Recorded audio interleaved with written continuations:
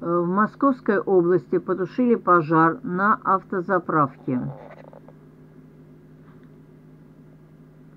Спасатели ликвидировали открытое горение на территории автозаправки в Московской области, сообщается на сайте ГУ МЧС по, по региону в субботу 17 апреля. Вечером в субботу в Пушкино загорелся бензовоз с прицепом. Пожарные локализировали возгорание на площади 14 квадратных метров.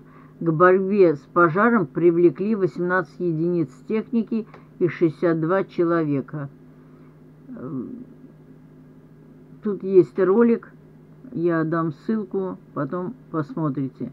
Подписывайтесь на мой канал, ставьте лайки, пишите ваши комментарии, что вы думаете по этому поводу.